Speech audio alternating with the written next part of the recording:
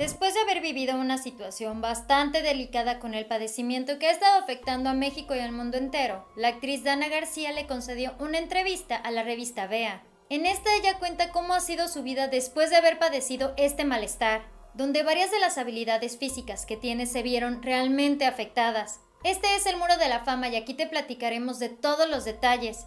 Dana García comentó que una de las principales cosas que se vieron afectadas fue su memoria. Actualmente es su esposo quien la ayuda a estar consciente y a recordar cosas que ha empezado a olvidar como consecuencia de este malestar.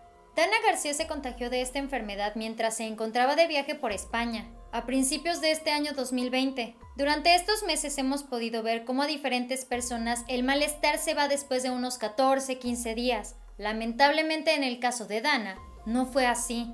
En mayo de este año dio a conocer que por tercera vez dio positivo a la prueba que confirmaba que efectivamente tenía este malestar, diciéndole a varios medios de comunicación que esta enfermedad no la soltaba. La actriz que protagonizó la exitosa telenovela Pasión de Gavilanes explicó que su esposo ha sido su fiel ayudante durante este proceso, y nos platica que en varias ocasiones él le ha dicho que se aprenda unos cuantos versos de algún poema y que al día siguiente él se los preguntará. Esto digamos como un ejercicio mental. Recordemos que al ser actriz tiene que tener una excelente memoria, ella tiene que aprenderse los diálogos, no se los pueden estar dictando todo el tiempo. Dan explicó que además de estos problemas de memoria, ella ha padecido de vértigo, algo que la ha vuelto muy vulnerable y que la incomoda constantemente.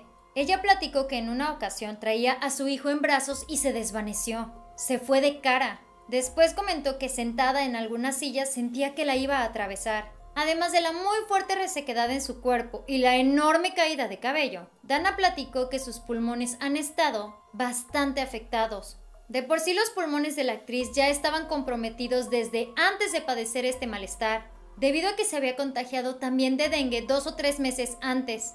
Pero realmente lo que Dana platicó fue lo peor de todo, fue el tener que alejarse de su pequeño hijo. Ella tuvo que separarse del pequeño durante muchos, muchos meses, debido a que se tenían que cerciorar de que el malestar ya no estuviera presente en su cuerpo.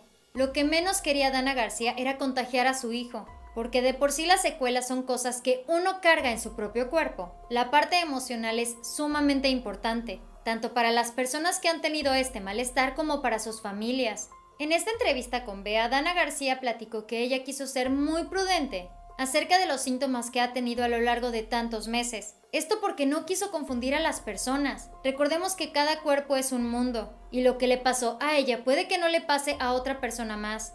Y es que incluso en septiembre, cuando ella fue declarada libre de este padecimiento, ella todavía tenía que superar las consecuencias. Afortunadamente para el día de hoy, Dana García se encuentra muy feliz y positiva y prefiere ver este malestar como un mensaje para el mundo, un mensaje que llama a todos y cada uno de nosotros a ver las cosas de diferente manera, a poner otras prioridades sobre la mesa y que realmente valoremos el entorno que nos rodea a cada uno de nosotros.